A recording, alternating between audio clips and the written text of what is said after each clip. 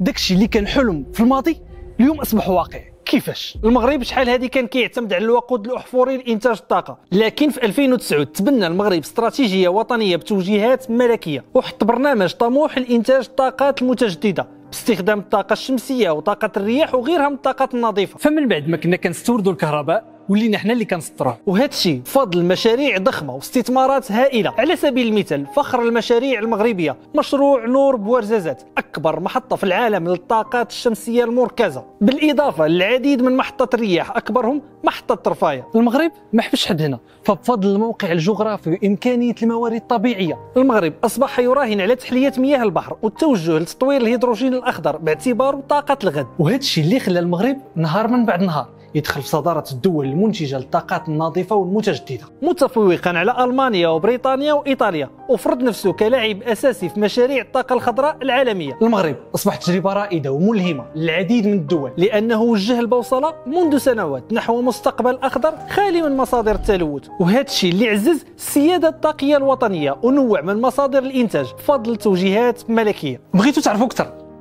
دوزيام وجدت لكم فيلم وثائق تحت عنوان المغرب المملكة الخضراء. وبيناتنا هذا الفيلم خاصكم تفرجوا فيه. إلا بغيتوا تعرفوا فين وصل المغرب في ثورة الطاقة وتأثيرها علينا. الفيلم غادي يفصل في هذا الموضوع بطريقة احترافية وبشهادات قيمة من خبراء وعلماء وسياسيين داخل وخارج المغرب. الفيلم غادي يتعرض نهار الأربعاء 26 يوليوز مع 10 الليل. هذه النسخة غادي تكون بالفرنسية ومن بعد منها النسخة العربية والإنجليزية. كونوا في الموعد